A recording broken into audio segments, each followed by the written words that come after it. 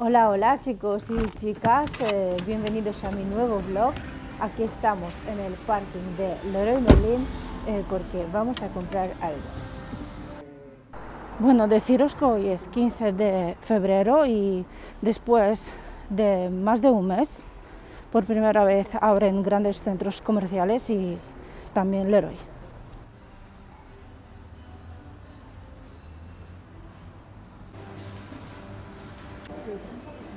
Bueno, nada más venir aquí y primero lo que hago es fijarme en todos los tejidos, todas las alfombras, estos colores tan naturales, todo tan natural. Me llama mucha atención, la verdad. Me gusta mucho, aunque en mi casa yo no tengo espacio para todo esto. Por ejemplo, una alfombra como esta sería prácticamente imposible. Por lo tanto, solo me queda admirarlas, pero bueno, yo espero que algún día sí. Bueno, aquí veis un poquito de novedades, creo, porque anteriormente no he visto este tipo de cestitas aquí. La verdad está muy bien. Y la verdad súper guapos todos estos tejidos. Yo en el dormitorio tengo dos alfombritas que son también tejidos súper bonitos. Bueno, y aquí podéis ver esta, esta tela tan bonita. Esta tela es mallorquina se ve mucho por aquí eh, estos colores más atrevidos. A mí personalmente me gusta más como azul o, negro este mismo clarito y, el tejido es bastante grueso, bastante precioso. Y bueno, llegando al rincón favorito, que son las maderas, porque lo que necesito es coger un juniquillo porque me falta para, para el marco y hay bastantes variedades. Voy a mirar las medidas. Y bueno, parece que el único que he encontrado así que a mí me vaya es, es este. Y la verdad no, no está demasiado caro, así que me lo llevo. Bueno, y también me voy a llevar este porque es como un junquillo para, para hacer un... Bueno, lo que os decía, tendedero para colgar la pasta, pasta fresca. Así que... Y bueno, aquí la variedad de cactus, de plantas, este también es uno de los sitios favoritos. Todas las flores, todo lo verde, me lo llevaría todo a mi casa, la verdad.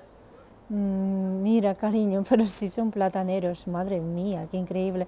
El que tenga un jardín se lo puede plantar y le sale súper guapo y grande. Y, y por supuesto los, los aguacates, qué preciosidad de, planta, increíble.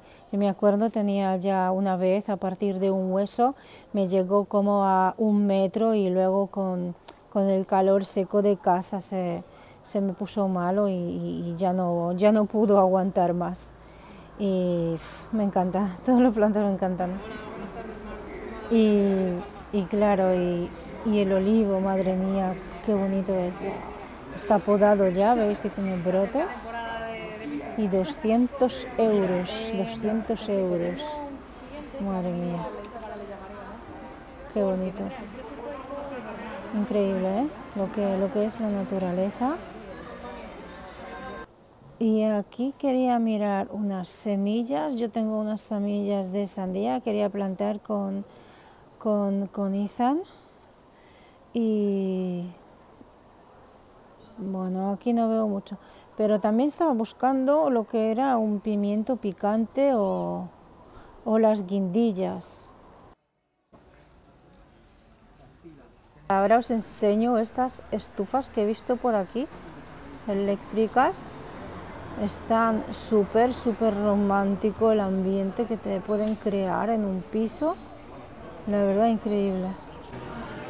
Y bueno, aquí ya en la cola he cogido también taco de, lija que me hacía falta, estos junquillos y, y bueno, ya está.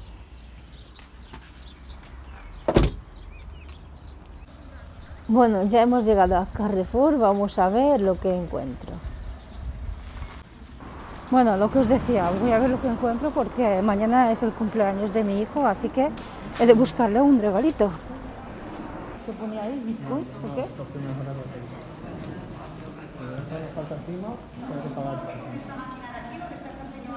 Mirad qué sitio más guapo, qué local más bonito para un Carrefour. Y bueno, ya he cogido el regalo de mi hijo, no voy a enseñar nada porque no quiero que él vea. Eh, ya mañana ya hace 17 años mi niño. Y qué pasada de cafeteras con esos mangos de madera y por supuesto los cucharones, me, me fascina todo lo que es madera. Y aquí un poquito os enseño lo que son los productos aquí de Baleares, que son quesos, que hay muchísima variedad de quesos, que el sabor es impresionante. Eh, la verdad, España, muchísimas provincias hacen unos quesos magníficos y yo, yo estoy enamorada de todos los quesos y principalmente, por supuesto, el manchego. ¿Por qué pide ese hombre tanto? Bueno, cariño, ¿no? Creo que podemos irnos ya a casa porque ya creo que lo tenemos todo, así que... Bueno, y aquí en casita preparando la cena que voy a hacer unos champiñones con pimientos, cebolla y ajo o también perejil. Es como una especie de revoltillo de todo esto, pero primeramente siempre voy sofriendo lo que son los eh, pimientos, cebolla y, y ajo al final, cuando ya casi está hecha toda, toda esta mezcla, le añado los, eh, los champiñones, perejil, le echo curry, sal y, un poquito de pimienta y ya está. Bueno, y me olvidaba porque también en muchas ocasiones le, le voy añadiendo soja.